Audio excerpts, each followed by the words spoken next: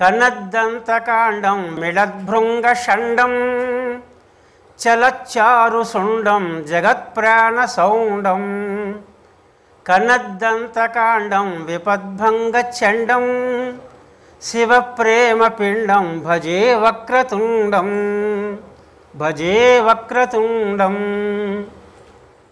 గణపతి చతుర్థి సందర్భంగా కుమారస్వామితో కూడినటువంటి వరసిద్ధి వినాయక స్వామిని వారిని ఇక్కడ మనందరం భక్తి టీవీ యాజమాన్యం వారి సౌజన్యంతో ఇక్కడ అర్చించడం జరుగుతుంది. గణపతి అర్చన అంటే ఖచ్చితంగా పాలవిల్లు ఉండి తీరాలి. అసలు పాలవిల్లి అంటే పాల పుంత. ఆ పాల పుంతనే లాక్కొచ్చేసినట్లుగా ఇక్కడ ఏర్పాటు చేశారు. నిజంగా యాజమాన్యం వారు అద్భుతంగా ఏర్పాటు చేశారు. అనేక కోట్ల బ్రహ్మాండాలు ఒక పాలపుంతలో ఉంటాయి అనుకుంటే ఆ బ్రహ్మాండాలు బంతుల్లా వేలాడుతున్నాయి చూడండి ఫలరూపంగా వేలాడుతున్నాయి ఆపిల్ ఫలాలు అయితేనేవి నారింజ ఫలాలు అయితేనే. ఆ బ్రహ్మాండాల కింద స్వామి విశ్రాంతి తీసుకుంటున్నాడు. చతుర్థి తిథి నాడు. ఆయనకు చతుర్థి తిథి అంటే చాలా ఇష్టంట. ఎందుకంటే చతుర్థి తపస్సు చేసింది. దేవుడు ప్రత్యక్షమయ్యాడు. ఏం కావాలి నీకంటే నా తిథి నాడు గణపతి స్వామికి అర్చన జరగాలి అని ఆ వరం కోరుకుంది చూడండి. ఎంత అద్భుతమైన వరం కోరుకుందో.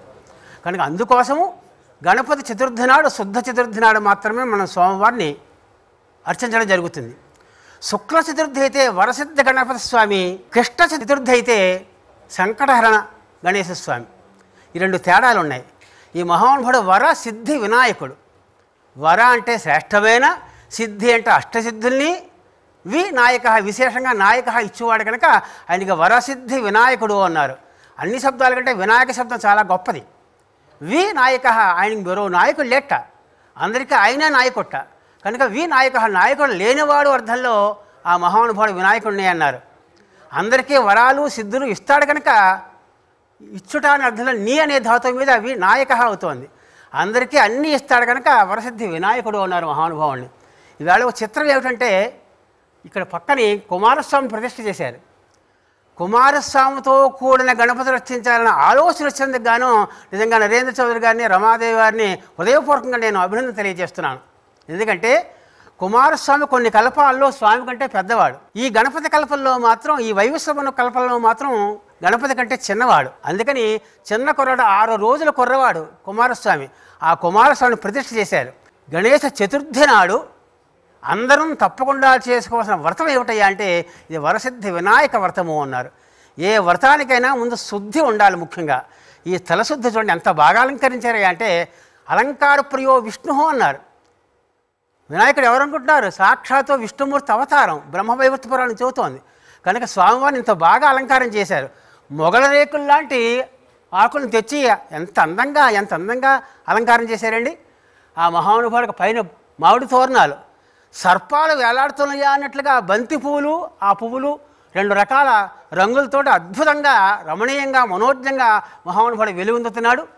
ఆ పక్కనే ప- పచ్చని ఆకుపచ్చని లేత అరటి మొక్కలను తీసుకొచ్చి పెట్టారు. అరటి మొక్క కదలి చాలా పుణ్యప్రదము శుభప్రదము. అటువంటి చుట్టూ ఆయన అలా ఏర్పాటు చేసి ఈ మహానుభావుడు గొప్ప ఉద్యానవనంలో కూర్చోబెట్టినట్లుగా ఉంది. పైన అఖిలాంటి కూడా బ్రహ్మాండాలు వేలాడుతున్నాయి. అటువంటి బ్రహ్మాండ నాయకుడిని ఈవేళ మనం ఇక్కడ అర్చన చేసుకుంటున్నాం. చతుర్థి ప్రియాయ నమ అని స్వామివారికి ఒక నామం ఉంది. చతుర్థి ప్రియాయ నమ. చతుర్థి అంటే చాలా ఇష్టము అని ఆయనకి ఇష్టంట అందుకని చతుర్థి అంటే నాలుగింటి పూరణము కలిగింది. నాలుగు తిథుల యొక్క పూర్ణ సంఖ్య కలిగింది కనుక దీన్ని చతుర్థి అన్నారు. ఈ వినాయక చతుర్థి నాడే స్వామివారు ఒక కల్పంలో పుట్టాడు. పార్వతీదేవి నలుగు పిండితోటి బొమ్మను చేసి పుట్టించింది. కనుక వినాయక చవితి నాడు పుట్టాడు కనుక ఆ మహానుభావుడు గణేష్ చతుర్థి ప్రియుడు అయ్యాడు. ఇది ఒక కల్పం. ఇంకో కల్పంలో ఏం జరిగింది అంటే ఈ గణపతి ఈ చవితి నాడు గజాసుర సంహారం చేశాడు స్వామి. శుద్ధ చతుర్థి నాడు గజాసుర సంహారం చేశాడు కనుక అప్పటి నుంచి గణేశ చతుర్థిని అందరూ కూడా మనం అర్చన రూపంగా చేసుకోవడం జరుగుతోంది. ఇలాగ చతుర్థి తిథికి నాలుగు భుజములు కలవాడు మహానుభావుడు. శుక్లాంబరధరం విష్ణుం శిశివర్ణం చతుర్భుజం నాలుగు భుజాలకి సర్వశ్రేష్టాలు. ఎందుకంటే స్వస్తిక్ మార్కులు వేస్తూ ఉంటారు స్వామికి గుర్తుగా. స్వస్తిక్ మార్కులో నాలుగు భుజాలు ఉంటాయి. నాలుగు భుజాలు అంటే చాలా ఇష్టం. కుమారస్వామికి అయితే ఆరు శీర్షాలు ఉంటాయి ఈశ్వరుడికైతే పంచముఖుడు ఆయన.